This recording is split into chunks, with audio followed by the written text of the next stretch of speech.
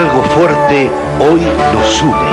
Hace años que nos vemos, que soñamos, que sentimos, que vivimos el Perú, siempre juntos Panamericana y tú.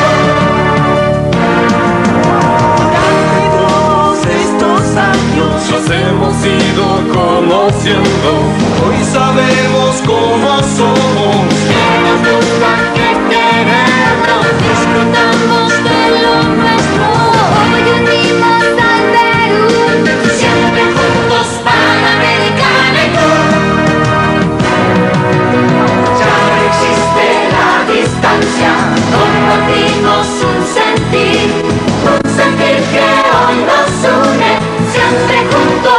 Panamericana y tú.